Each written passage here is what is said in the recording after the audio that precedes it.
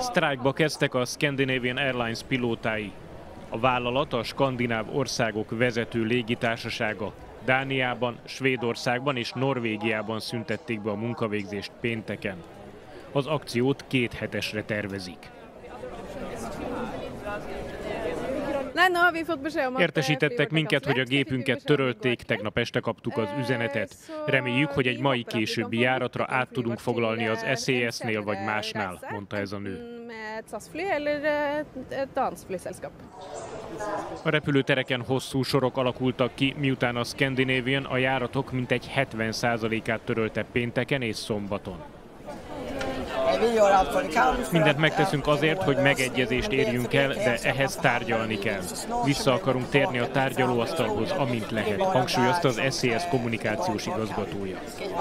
A sztrájk a három skandináv országban mintegy 170 ezer utast érint csak a hétvégén. Nagyon sajnálatos, hogy idáig jutottunk. A vállalatot terheli a felelősség nagy része, mert nem sikerült áthidalniuk ezt a szakadékot, vélte a norvég szakszervezeti vezető. Elemzők szerint a két hetes sztrájk elviheti a légitársaság éves nyereségét. A vállalat megújítja idősödő flottáját, miután korábban évekig csökkentette a költségeket.